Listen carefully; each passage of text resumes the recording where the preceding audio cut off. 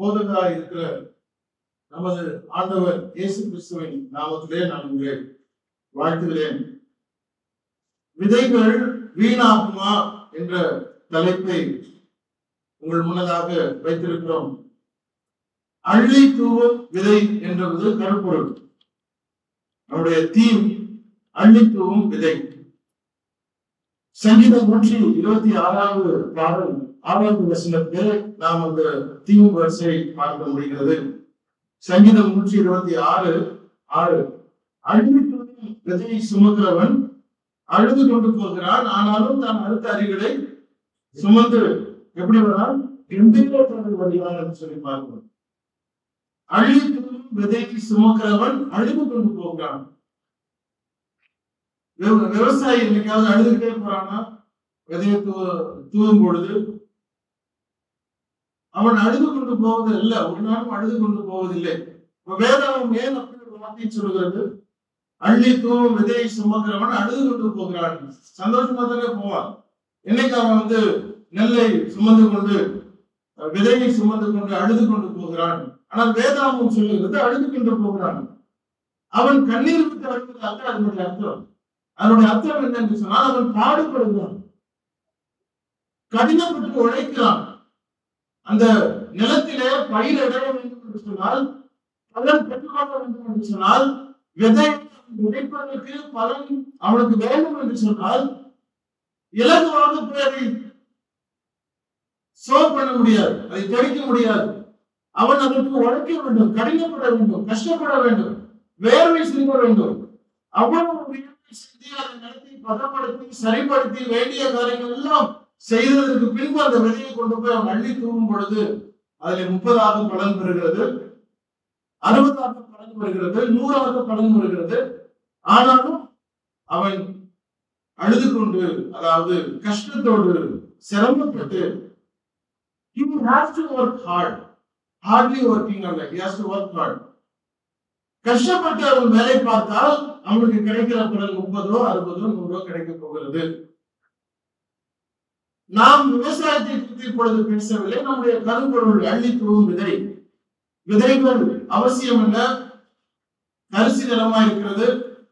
அதை நல்ல நிலமாக மாற்ற வேண்டும் என்றால் நமக்கு விதை வேண்டும்.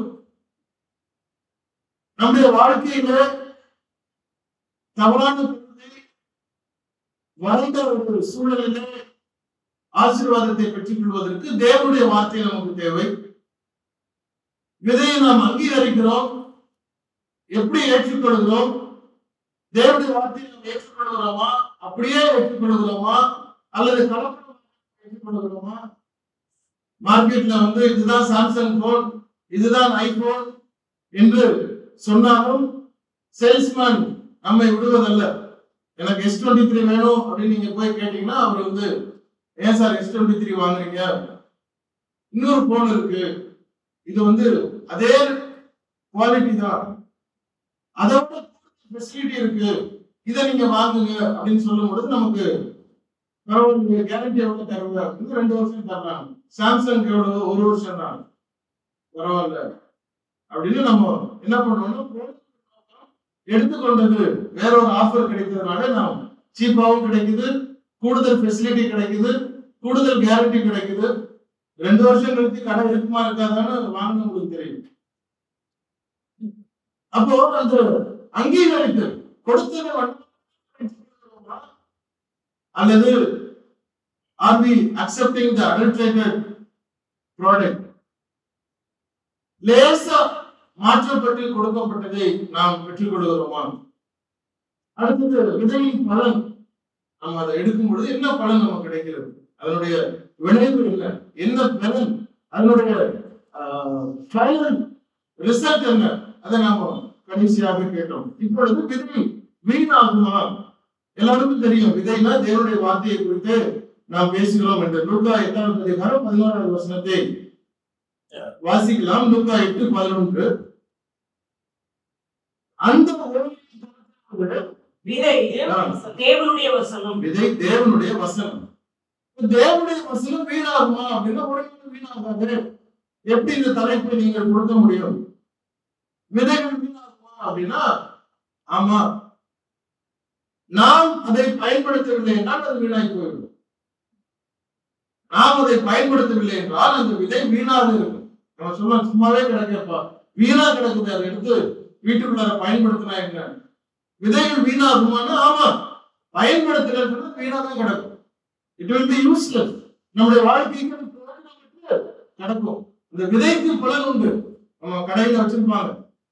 விதை நெல் அப்படின்னு வச்சிருப்பாங்க. பல வருஷமா பாதுகாத்து வச்சிருப்பாங்க இது ஐயாயிரம் இருபது ஐயாயிரம் முப்பது நாற்பது ஐம்பது ஏகப்பட்டது வைத்திருப்பாங்க. எல்லாமே விதை நெல் அதை நாம் எடுத்து பயன்படுத்தும் பொழுதுதான் அது நமக்கு பயன். இல்லைன்னா அது வீணாக இருக்கிறது.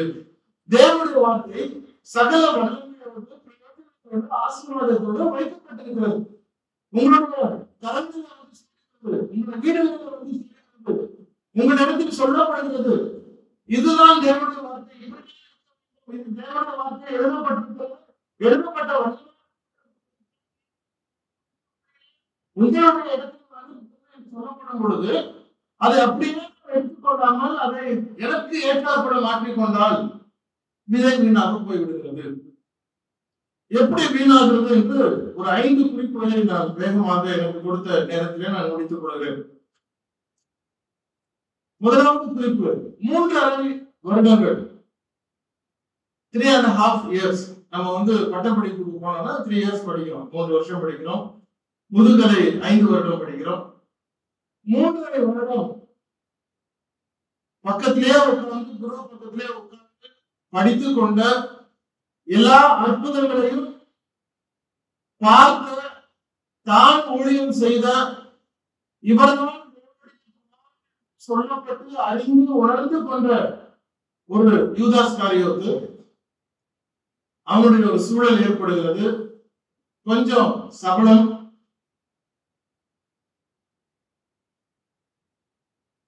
ஒரு ஆஃபர் கிடைக்கிறது. அவன் தன்னுடைய ஆண்டவரை காட்டிக் கொடுக்கிறார் நமக்கு எல்லாம் தெரிந்த கதை. தெரிந்த சம்பவம். கதை இல்ல சம்பவம். ரெண்டுக்கும் வித்தியாசம் இருக்கு. கதைன்னா நான் இஷ்டத்துக்கு நானா சொல்றது. சம்பவம் அப்படின்னா நடந்தது. அதனாலதான் கிறிஸ்தவம் அப்படிங்கிறது சம்பவம். அது சரித்திரம். புராணம் அல்ல கதை அல்ல. கதைன்னா யாரோ உட்கார்ந்து எழுதுனது.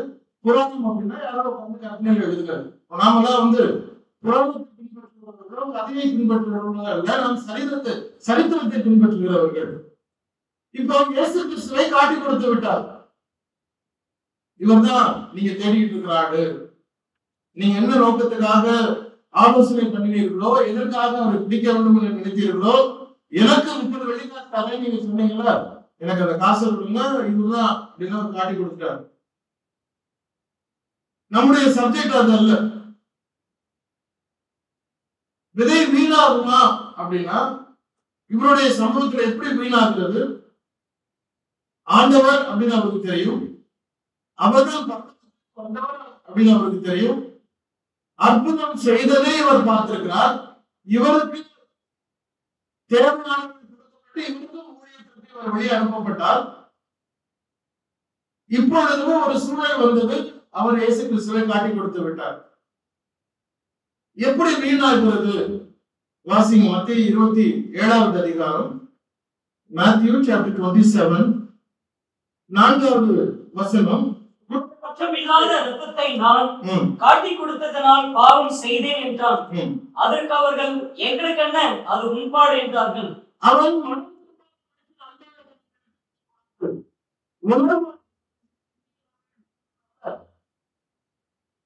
தான் செய்தது தவறு.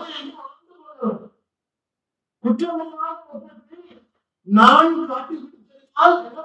பாவம் செய்தேன். அப்படின்னு he has accepted his own sin. என்னுடைய பாவத்தை நான் ஏற்றுக்கொண்டேன் நான் ஒத்துக்கொண்டேன் ஆமா நான் தப்பு பண்ணிட்டேன் இது தவறு அப்படின்னு அவரு உணர்ந்தார். ஆனா நடந்தது என்னன்னா அவர் மனம் திருந்தார் அதுதான் விஷயம். ஆமா நான் தப்பு பண்ணேன். ஐயோ இத்தனை வருஷமா நான் வந்து இருந்ததெல்லாம் செய்ததெல்லாம் தவறுதான். கேட்டதெல்லாம் தவறுதான். அவங்க என்னமோ சொன்னாங்க நான் கேட்டுட்டேன். அதுதான் வந்து பெரிய சக்தி நான் நினைச்சிட்டேன். ஆனா இப்போ தெரியுது அது தவறுதான் அப்படின்னு தெரியுது. ஆனா மனம் திரும்பல பாவம் செய்தேன் என்று ஏற்றுக்கொண்டவன் ஒத்துக்கொண்டவன் பாவம் தவறு உணர்ந்தவன் மனம் மாறவில்லை. அதுதான் இங்க வீணாகி போனது. எதை அப்போ சில மூணாம் அதிகாரம் இருபத்தி ஐந்தாவது வருஷத்துல பாருங்க. Act chapter one verse twenty five அப்போ சில நடவடிக்கைகள் முதலாம் அதிகாரம் இருபத்தி ஐந்து இவ்விரண்டும் பேரில் ம். தேவரின் தெரிந்து கொண்டவனை எங்களுக்கு காண்பித்தருளும் என்று ஜெபம் பண்ணி அப்போ அவன் ஒரு அப்போஸ்தலனாக அழைக்கப்பட்டவன் இயேசு கிறிஸ்துவால் நேரடியாக தெரிந்தெடுக்கப்பட்டவன் பக்கத்தில் பார்த்து அறிந்து உணர்ந்த மனுஷன் தான் தவறு செய்து விட்டேன் என்றும். மனம் திரும்பாதவனுக்கு மனம் இல்லாதது போனதுனாலே அவ்வளவு பெரிய ஒரு அப்போஸ்தலர் பட்டத்திலிருந்து அவன் தள்ளப்பட்டான் விதை வீணாயிட்டால் வீணா நம்முடைய வாழ்க்கையில அதுதான். நம்முடைய வாழ்க்கையில பல நேரங்கள்ல எத்தனையோ வருஷங்கள் நாம பல பழக்க வழக்கத்துல இருந்திருப்போம். பைபிள் படிக்கும் பொழுது ஆமா அடடா இப்படி எல்லாம் இருக்கு அப்படின்னு நம்ம தெரிந்து கொண்டோம். ஆனா மனம் திரும்பல அந்த ஸ்டெப் அடுத்த ஸ்டெப் எடுத்து வைக்கல அப்படின்னா பழைய செருப்பை மாட்டிட்டு அப்படியே வீட்டுக்கு போறது மாதிரி திரும்பவும் நம்முடைய யூதாஸ் காரியத்துக்கு போல நாம் நம்முடைய அழைப்பை நாம் இழந்து விடுகிறோம். விதை வீணாகிறது. இரண்டாவது ஒரு சம்பவத்தை நான் கொண்டு வருகிறேன் உலகத்திலே அழைக்கப்பட்டவர்கள் சம்பாதிக்கப்படுகிறவர்கள் இருக்கிறார்கள் தெளிவாக இருக்கிறவர்கள். எல்லா விதத்திலும் நல்ல பெயர் எடுக்கிற ஒரு தரத்திலே இருக்கக்கூடிய ஜனங்கள். ஆனா என்னன்னா கீழ்படிய மனசு இருக்க அங்க யூதாஸ்காரியத்துக்கு மனம் திரும்ப மனசு இல்லையோ இந்த ஒரு இரண்டாவது சாரால் கீழ்படிய மனசு இருக்காது. மத்திய பத்தொன்பதாவது அதிகாரம் பதினாறாவது வசனத்திலிருந்து நான் வாசிக்கிறேன். Matthew chapter nineteen sixteen onwards மத்திய பத்தொன்பதாவது அதிகாரம் பதினாறுல இருந்து நான் வாசிக்கிறேன் பாருங்க. அப்படி வந்து அவரை நோக்கி நல்லவர்களே நித்திய ஜீவன் அடைவதற்கு நன்மை செய்ய வேண்டும்? என்று கேட்கிறான் அதற்கு அவர் நீ என்னை நல்லவன் என்று சொல்வானே தேவன் ஒன்று நீ ஜீவன் அவன் அவரை வந்து எவைகளை என்று அப்படியே கீழே வந்து இருபத்தி இரண்டாம் வருஷத்தை நான் வாசிக்கிறேன். இருபத்தி ஒன்றை வாசிக்கிறேன். அதற்கு இயேசு நீ பூரண சர்க்கரமாக இருக்க விரும்பினால் உனக்கு உண்டானவர்களை விட்டு தேவத்திற்கு கொடுங்க அப்பொழுது பல்லவங்களுக்கு பொக்கிஷம் உண்டாயிருக்கும். பின்பு என்னை பின்பற்றி வா என்றார். அந்த வாலிபர் மிகுந்த ஆஸ்தி உள்ளதா இருந்தபடியால் இந்த வார்த்தையை கேட்ட பொழுது துக்கம் அடைந்தவனால் போய்விட்டான். அவரு கொஞ்சம் பணக்காரர். பணக்காரர் மாத்திரமல்ல தான் பணக்காரர் அறிய உணர்ந்தவன் அது நேர்மையாக அவன் மற்றவர்களாக அறியப்பட்டவன். ஊருக்கு எல்லாருக்கும் தெரியும். இவர்கிட்ட போனா வந்து ஒரு ஆயிரம் ரூபாய் கேட்டா அட்லீஸ்ட் ஒரு ஐநூறு ரூபாய் கிடைச்சிடும் அப்படின்னு ஒரு நம்பிக்கையில போய் அவர்கிட்ட போய் நிக்கிறாங்களோ இருக்குமோ அவருக்கு ஒரு பேர் நல்ல பேர் இப்ப இயேசு கிறிஸ்து கிட்ட அவர் ரட்சகர் அவர் உலகத்தின் எல்லாத்தையும் பாவங்களை தீர்க்கிறவர் அவர் வந்து ஆண்டவர். அவர் பின்னாடி எல்லாரும் போறாங்க. அப்ப நம்மளும் போய் எதையாவது நம்ம வாங்கிக்கலாம் அப்படின்னு இவர்கிட்ட வந்து கேட்கிறாரு நான் பல்லவத்துக்கு போனவங்க என்ன பண்ணலாம்? அப்படின்னு உடனே அப்படியா வா அப்படின்ட்டு ஒன்று ஒன்றா கேட்கிறாரு எல்லாம் பார்த்துட்டேன் எல்லாம் முடிச்சுட்டேன். அதை பார்த்துட்டேன் இதை பார்த்துட்டேன். காணிக்கை போய் ஆமா கொடுக்குறேன். வாரம் வாரம் போய் ஆமா போறேன். நல்லா பாட்டு பாடி அறிவு நான் பாட்டு நடத்துறேன். எல்லாம் ஓகே நம்ம வாழ்க்கையில் நிறைய நேரம் அப்படி இருக்கும். ஆனா எந்த இடத்துல நாம மிஸ் பண்றோமோ அதை சுட்டி காட்டும் பொழுது அதிலே தீர்ப்படைவதற்கு நமக்கு மனம் இல்லை இப்ப எல்லாவற்றையும் பார்த்து ஆண்டவர் ஒரு விஷயத்தை சொல்றாரு. அப்போ இவருக்கு பிரச்சனை என்ன இருக்கு? பணக்காரன் பிரச்சனை இல்லை. நான் பணக்காரன் என்று மற்றவர்களுக்கு காட்டிக் கொள்வதற்காக ஆண்டவர் கண்டுபிடித்து சொல்றாரு எல்லாத்தையும் வித்துட்டு தரித்திரருக்கு கொடு. இப்போ எனக்கு ச- கஷ்டமா போச்சு இப்போ நாளை காலையில விடிய காலையில இந்த ரோட்ல போனா யாராவது குட் மார்னிங் சொல்லுவாங்களா? என் வீட்டுல யாராவது வந்து நிற்பாங்களா இல்ல நான் கடிக்க விழுந்தா என்னை கூப்பிடுவாங்களா யாராவது? என்ன பேச்சு பேசினா பாப்பா கீழே விழுந்து கிடக்குறாங்க. கிடக்கட்டும் அப்படின்னு சொல்லுவாங்க. கையில நம்ம பணம் இருந்தாதான் நமக்கு மரியாதை. வேலை இருந்தாதான் மரியாதை. நான் இப்படி இருந்தாதான் என்ன ஊரு மதிக்கும். இல்லைன்னா என்னை யாரும் மதிக்க மாட்டாங்களே இத்தனை வருஷம் நான் வந்து இப்படி வாழ்ந்துட்டேனே. இனிமேல் எப்படி நான் வந்து என்னுடைய வாழ்க்கையை மாற்றிக் கொள்வது? அப்படியே போட்டோம். என்னுடைய வாழ்க்கையில அது நிறைய நடக்குது. இன்னும் கொஞ்சம் ஸ்பெசிபிக்கா சொல்றதா இருந்தா ஒருவேளை ஒரு முதலாளி தன்னுடைய கம்பெனியை விட்டுட்டு தொழிலாளியாக வருவானா அப்படின்னா வரமாட்டான். ரொம்ப தொண்ணூற்றி ஒன்பது சதவீதம் பேர் குறிப்பா தமிழர்கள் வரமாட்டாங்க. நான் சீனாக்காரன் கூட வேலை பார்த்திருக்கேன். பக்கத்திலே இருந்து மண்வெட்டி பிடிச்சு சுத்தியல் எடுத்து அடிச்சு ஆணி எல்லாத்தையும் நம்ம கூட இருந்து அழுக்கு ட்ரெஸ் போட்டு வேலை பார்ப்பாங்க கரெக்டா நாலு மணி ஆகும். அவன் ட்ரெஸ் எல்லாம் கட்டிட்டு நல்ல ஒரு ஷர்ட் கோட் எல்லாம் மாட்டிட்டு ஒரு மெசேஜ் எடுத்துட்டு அவன் போயிடுவான். அவனுடைய முதலாளி அவனுடைய கம்பெனி அவன் அந்த கம்பெனியில வேலை பார்த்து பழகிற ஒரு கலாச்சாரம். தமிழர்களுக்கு அது நடக்காது. வீட்டுல அடுத்த வேலைக்கு சோறு இருக்காது ஆனா அவன் பண்ற பந்தாவுக்கும் கௌரவத்துக்கும் குறைவே இருக்காது. ஏன்னா முதலாளின்னு அடுத்தவங்க முன்னாடி காட்டிக்கணும். அவன் மூணு மாசம் சம்பளம் கொடுத்துருக்க மாட்டான். என்னன்னா காசு இல்லை காசு இல்லை. என்னத்துக்கு முதலாளி கௌரவத்துக்கு கௌரவத்தை கொடுப்பதற்கு அதாவது கீழ்ப்படிவதற்கு மனமில்லை இவ்வளவு நாள் நான் வந்து உதவி செஞ்சுட்டேன் இவ்வளவு நாள் நான் இப்படி எல்லாம் இருந்தேன். இவ்வளவு நாள் இது சரின்னு பண்ணிட்டு இருந்தேனே. இப்ப நீ வந்து புதுசா இருக்கு சொன்னா அது பைபிள் இந்த மக்கள்கிட்ட போய் நான் எப்படி நான் பேசுறேன்னு சொல்றது? எப்படி நான் வந்து என்னை மாற்றிக் கொள்வது? அப்படின்னு போற வரைக்கும் போகட்டும். என் கௌரவம் என்ன ஆகுது? என்று கீழ்ப்படிந்த மனம் இல்லாத ஜனங்கள் பொழுதும் இருக்கும் பொழுது சரியான வார்த்தை அவர்களுக்கு வந்து சேர்ந்தாலும் விதை வீணாகி விடுகிறது. சத்தியத்தை சொல்லுகிறோம் இது தவறு என்று சொல்கிறோம் இதை செய்யக்கூடாது என்று சொல்கிறோம் நாங்கள் அந்த அசனம். இவ்வளவு சொன்னதுக்கு அப்புறம் இல்ல நாங்க போனா எங்களுக்கு அங்க தூக்கம் வருது.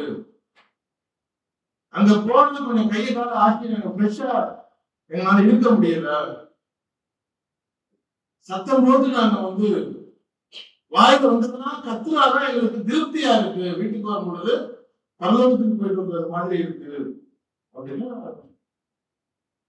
ஒண்ணும் பண்ண முடியாது.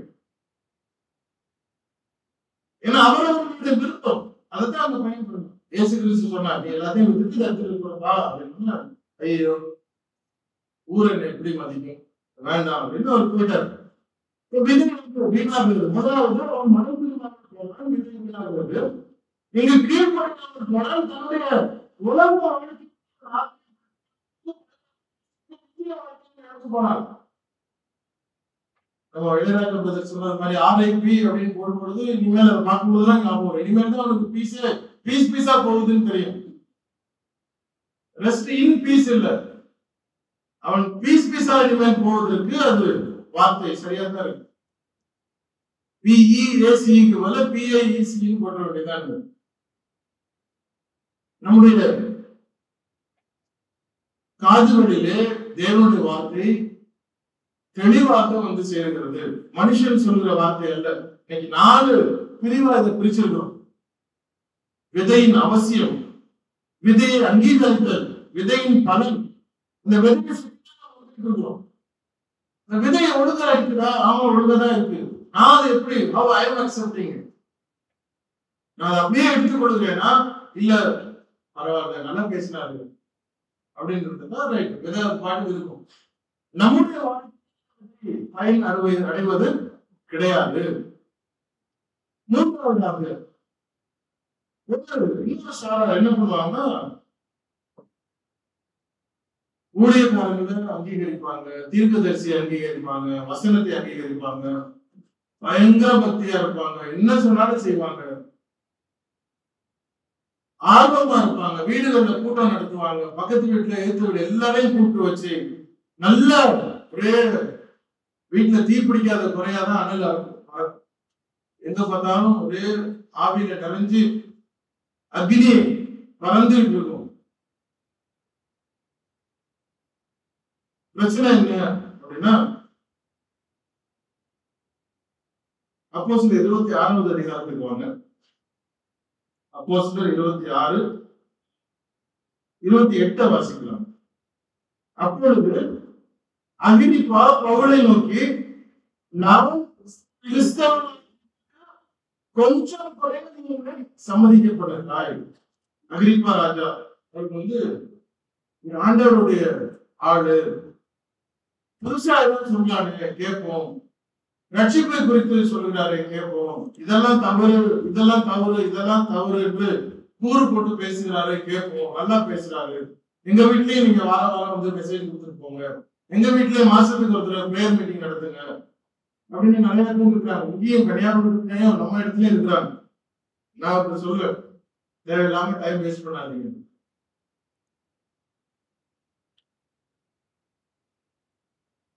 மார்க்கெட்டிங் வேண்டாம் நமக்கு. We don't need marketing. விளம்பரமே தேவையில்லை. வாங்க வாங்க வாங்க வாங்க நாலு பேரை நான் இன்னைக்கு கூப்பிட்டு உட்கார வச்சு அரசியல் கூட்டம் நடத்தல. சத்தியத்தை விதைக்கும் பொழுது அந்த விதை உள்ள போவதற்கு விதைக்கு பாத்திரம் உண்டு. சரியான வச்சுக்கிட்டா முப்பதோ அறுபதோ நூறோ பணம் கொடுத்து விடும் ஜீவனோட வார்த்தை. அப்படி இருக்கும் பொழுது ஏதோ நாங்க பிஸியா இருக்கணும் அப்படின்றதுக்காக எங்களுடைய நாட்களை நாங்கள் பயன்படுத்திக் கொள்ள வேண்டும் என்பதற்காக பதவி நேரத்தை செலவிடுவது நம்முடைய சபைக்கு பழக்கம் அல்ல. ஏதாவது கடத்துல கிழமை பிரதர் வந்து பிரேயர் பண்ணி ஆ ஓகே. ஒரு பேர் பேர் பண்ணா நூறு ரூபா கொடுங்க. ஆடு அவங்க ஊர்ல ஆடு ஊர் நட்டு. கன்னியாகுமரி இல்லை அந்த பழக்கத்தை இது வரைக்கும் நாங்க வச்சுக்கிறோம் we spend our time in a worthy நியாயமாக பிரயோஜனப்படுகிற கரெக்டாக நாம பயன்படலாம் ஏன்னா நாம் தேவனுடைய பிள்ளைகள். இருபத்தி நான்கு மணி நேரத்துல எட்டு மணி நேரம் அல்லது ஏழு மணி நேரம் நம்ம உறங்கலாம். மிச்சம் இருக்கிறது என்ன பண்றோம்? எதை பயன்படுத்துகிறோம்? எப்படி அதை பயன்படுத்துகிறோம்? சும்மா இருந்தோம்னா மாடிக்கு போக சொல்லும். வச்சேபால பார்க்க சொல்லும். இருக்கிற வாழ்க்கையும் கெட்டு கீப் யுவர் செல்ஃப் பிஸி அதான் நம்மளுடைய பாலிசி எப்பவுமே ஏதாவது செய்து கொண்டே இருக்கிற காரணம் என்ன? தேவனுடைய பிள்ளைகளாய் நான் இருக்கிறோம். அகிரிப்ப ராஜாவுக்கு இன்னமும் பேசுறாரு கூப்பிடாரு கூப்பிட்டு உடனே பவுலும் பேசுறாரு. பேசிட்டு இருக்கும் பொழுது அவருக்கு பயம் கொடுத்துருச்சு அப்பொழுது அகிருத்வா கவலை நோக்கி நான் கிறிஸ்தவன் நீங்கள் சமாளிக்க பண்ணுகிறா இந்த அதற்கு பவுல் நீர் மாத்திரமல்ல நீங்களும் என் வசனத்தை யாரும் கொஞ்சம் இந்த கட்டுரை தவறு. அதாவது அவர் ஜெயில அஹ், விலங்கு கொடுத்துக்கிறாங்க. அந்த விலங்கு தவிர முழுவதும் எங்களுக்கு ஆளுப்பா அப்படிங்கிறார். என்னை போல எத்தனை பேருக்கு சொல்ல முடியும்? என்னை பின்பற்றுங்கள். இல்ல இல்ல அப்படின்னா நாங்க வந்து மேடல் ஏறிட்டோம்னா நாங்க வந்து ஆவியானவர் எங்களை நிரப்புறாரு. ஆவியானவர் எங்களுக்கு என்ன சொல்றாரோ அதை தான் நாங்க பேசுறோம். கீழே இறங்கிட்டோம்னா எங்களுக்கு ஆவி போயிடும் நாங்க யாரும் சாதாரண அதுக்கப்புறம் நாங்க பொய் பேசுவோம் கெட்ட வார்த்தை பேசுவோம். என்ன வேணாலும் பேசுவோம் எப்படி வேணாலும் நடப்போம். நாங்க ஆனா இங்க வந்துட்டோம்னா தேவனுடைய வார்த்தை. இங்க இருந்து பேசி கேளுங்க. என்னைய பார்க்காதீங்க வார்த்தையை பாருங்க அப்படின்னு சொல்லக்கூடிய காலத்திலே நாம் வாழ்ந்து கொண்டிருக்கிறோம். அப்படி எல்லாம் பைபிள் சொல்லவே இல்லை. கிறிஸ்தவம் அப்படி சொல்லவே இல்லை. நான் எது பேசுகிறேனோ அப்படி நடக்க வேண்டும். நான் எப்படி நடக்கிறேனோ அதுதான் பேசணும். நடக்கிறது நான் பேசுறேன்னா நான் பேசுறதுக்கு தகுதி இல்லை. தவறு செய்கிறவர்கள் நாம் மாற்றிக் கொள்வது கட்டாயம் இருக்கிறது. அதான் கிறிஸ்தவம். என்ன அப்படின்னு பவுல் சொல்றாரு பேருக்கு என்னை பின்பற்றுவர்களாகுங்கள். பவுல் சொல்றாரு என்னை பின்பற்றுவர்களாகுங்கள். இயேசு கிறிஸ்து சொல்றார் என்னை போல ஆகுங்கள். பாதப்படியை வைத்துக் கொள்கிறார் ஏறத்தாழ எட்டு எட்டு இடங்கள் என்று நினைக்கிறேன். எல்லா இடங்களும் ஒவ்வொருவரும் சொல்வார்கள் ஃபாலோ மீ என்னை பார் என்னை பார் என்னை பின்பற்றுவர்களாகுங்கள். மேடையில பேசுறது ஒண்ணு கூட்டத்துல பேசுறது ஒண்ணு வீட்டுல நடக்கிறது ஒண்ணு அவங்க மனைவியில கேட்டா தெரியும். இந்த மக்கள் எல்லாம் எப்படி இருக்கிறாங்க? அகிரிப்பா ராஜா அவர் பார்த்தவர் சொன்னார் நீ மாத்திரம் இல்லப்பா எல்லாரும் இந்த விலங்குகளை தவிர நீனும் மாட்டிக்கிறாரு இந்த விலங்கை விட்டு விட்டதுமாக்கி அத்தனையும் என்னை போல ஆகுங்கள் என்று நான் கேட்கிறேன்னு சொன்னார். ஆனா அவருக்கு மாறுவதற்கு மனம் இல்லை. ஏன்னா அவர் அந்த ராஜ இடத்துல இருக்கிறார். இன்னொரு உதாரணத்தை பார்க்கலாம். டுவெண்ட்டி ஃபோர் அப்போ சில இருபத்தி நான்காவது அதிகாரம் இருபத்தி ஐந்தாவது வசனம் அப்போ சில இருபத்தி நான்கு இருபத்தி ஐந்து. அவன் நீதியையும் ம். இச்சை- இச்சையடக்கத்தையும் ம், இனிவரும் நியாய தீர்ப்பையும் குறித்து பேசுகிறேன். ம். பேலிக்ஸ் பயமடைந்து எப்பொழுது நீ போகலாம் எனக்கு சமயமான போது உன்னை அழைப்பிப்பேன் என்றார். ஃபெலிக்ஸ் அப்படிங்கிற ஒருத்தருக்கு இப்ப பவுல போஸ்டர் பேசிக் கொண்டிருக்கிறார். பேசும் பொழுது பயம் இருந்துச்சு ஐயோ உங்களை மாத்திடுவாங்க போல இருக்கு. நம்ம இவங்க கெடுத்துருவான் போல இருக்கு. வேண்டாம் நீ போ. அப்புறமாட்டி நம்ம பார்த்துக்கலாம் நான் வந்து பண்ற காரியங்கள் எல்லாம் குற்றப்படுத்தி சுட்டி காண்பித்துக் கொண்டிருக்கிறாய். பயம் விட்டது. மனம் அவனுக்கு வழி இல்லை. தீர்க்கதரிசிகளை ஏற்றுக்கொள்கிறார்கள். வசனத்தை கேட்க ஆர்வமா இருக்கிறார்கள். தங்களுடைய நேரத்தை ஒதுக்குகிறார்கள். அவர்கள் பேசுவதை முழுமையாக கேட்கிறார்கள். ஆனால் மாற்றிக்கொள்வதற்கு அவர்களுக்கு மனம் இல்லை வசனம் வீணாகிறது. விதை வீணாகி போய்விடுகிறது நிறைய பேர் நம்ம இருக்கிறோம்? வீட்டுல நம்ம ஜோம் பண்ணணும்னு ஊழியர்களை கூப்பிடுவோம் பைபிள் ஸ்டடி வீட்டுல நடக்கும் பாடங்களை படிக்கிறோம் எது தவறுன்னு தெரிஞ்சுக்கிறோம் எது சரின்னு தெரிஞ்சுக்கிறோம் ஆனா அந்த இடத்த விட்டு நமக்கு மாற தோணாது. ஏன்னா உட்கார்ந்து இருக்கிற சீட் அப்படி நம்ம ஊர் நாளைக்கு மதிக்காது.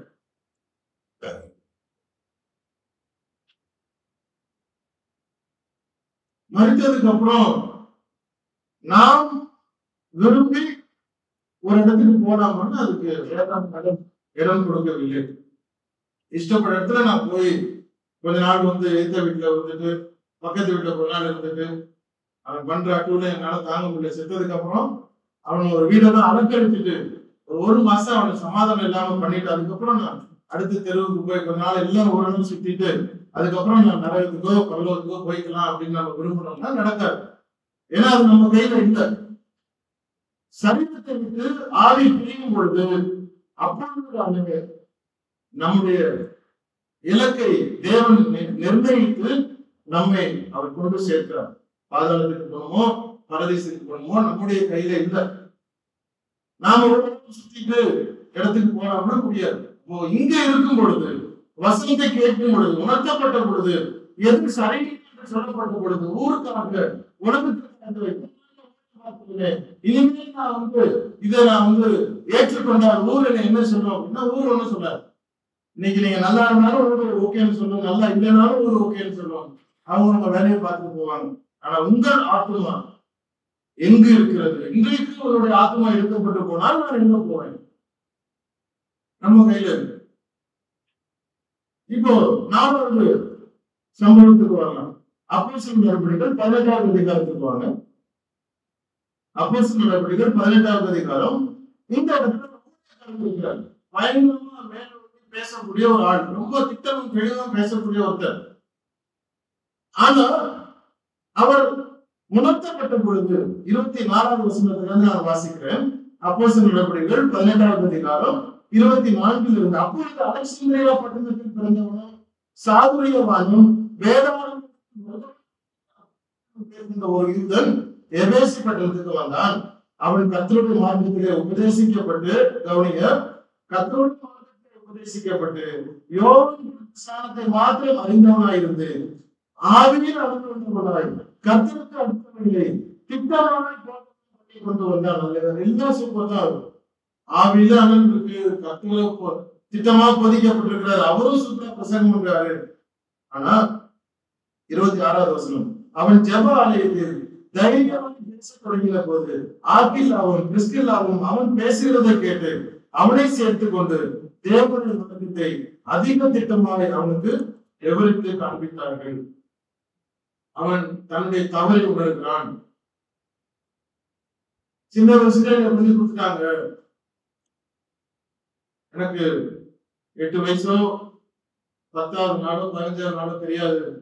அப்பவே என்னை கொண்டு போய் துறை வந்தாருன்னு கையில முக்கிய எடுத்துட்டாங்க. அதனால நான் யாரு நான் வந்து இப்போ கிறிஸ்தவன் தேவனுடைய பிள்ளை அப்படின்னு நாம சொல்றதா இருந்தா இந்த அப்பளவுக்கு அதான் சொன்னாங்க.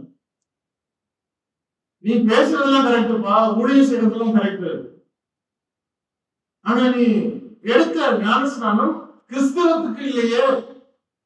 கிறிஸ்துவுக்கு உடனே நீ எடுக்கலையே.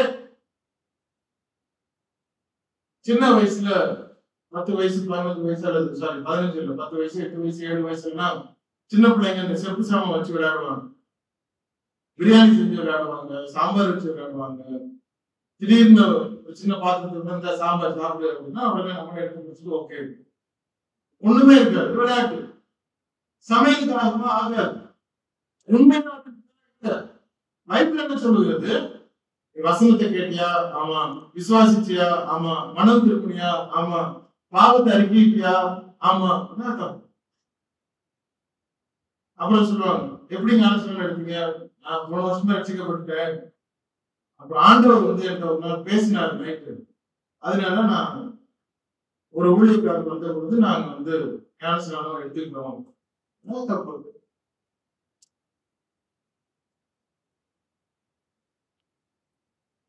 என்ன பைபிள் அப்படி சொல்றாரு?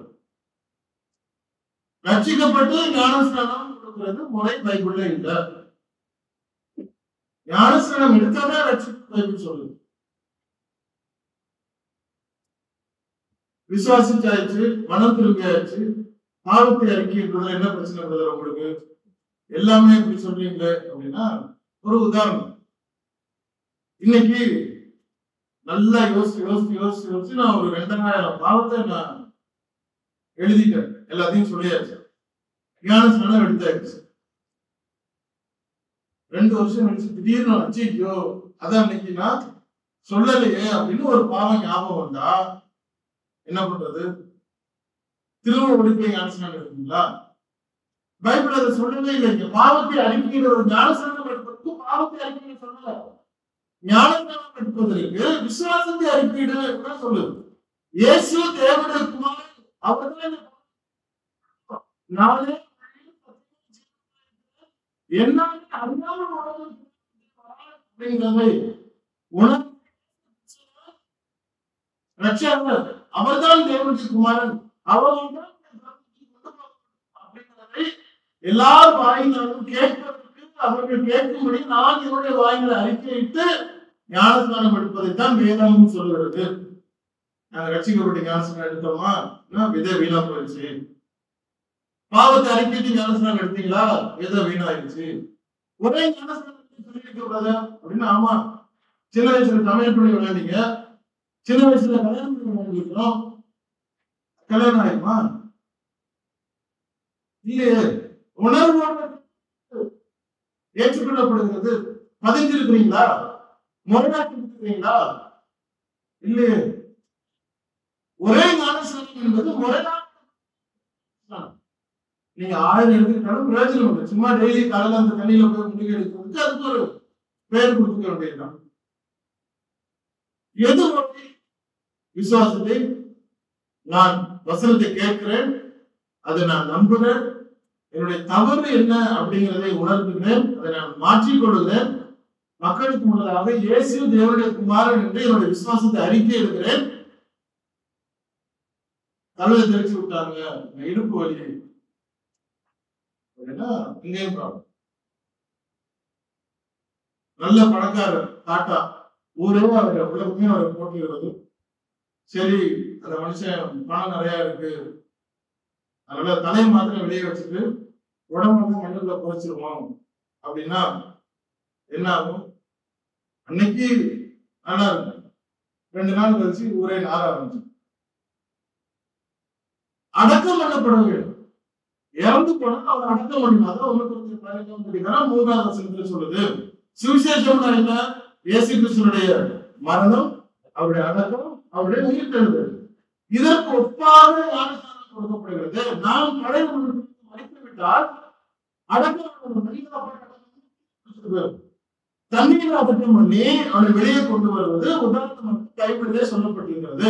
ரோமன் ஆறாவது அதிகாரத்திலே மூன்று நான்கு ஐந்து வசனங்களிலே நான் தண்ணீரில் அடக்கம் பண்ணப்பட்டு வெளியே வரணும். அப்ப நான் வசனத்தை கேட்கிறேன் விசுவாசிக்கிறேன் மனம் திரும்புகிறேன் விசுவாசத்தை அறிக்கை எடுக்கிறேன் தண்ணீரில் அடக்கம் பண்ணப்படுகிறேன் வெளியே வருகிறேன். இப்போ வரும் பொழுது எனக்கு என்ன பலன்? தேவன் அந்த க்ஷணம் வரைக்கும் என்ன பாவம் அதை முழுக்க மன்னித்து விடுகிறார் பாவ மன்னிப்புக்கு நீங்க ஞானசனம் எடுத்தீங்களா அப்படின்னு ஒரு கேள்வி. நாம ஞானசனம் எடுத்தேன் எதுக்கு நாங்க அந்த சபையில சேர்றதுக்கு எடுத்தோம் பைபிள் சொல்ல பாவ மன்னிப்பு